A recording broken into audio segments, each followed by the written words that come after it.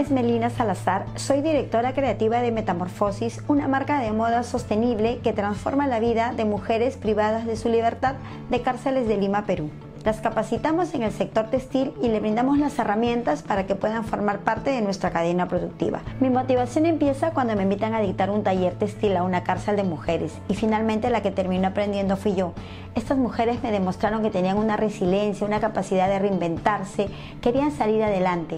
Es allí donde nosotros empezamos este trabajo de capacitación, incluirlas en nuestra cadena productiva. Nosotros trabajamos con las mujeres privadas de su libertad bajo un convenio con el INPE Cárceles Productivas.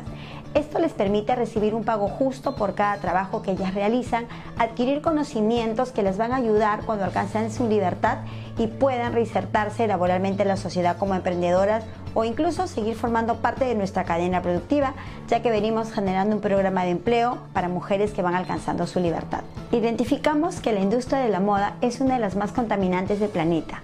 Por ello empezamos a tomar acciones como marca de moda sostenible, usando saldos de la industria textil para co-crear nuestras piezas e ingresando así a una economía circular. Este proyecto inicia en el 2017 con seis mujeres y hasta la fecha hemos transformado la vida de 80 mujeres en tres cárceles de Lima.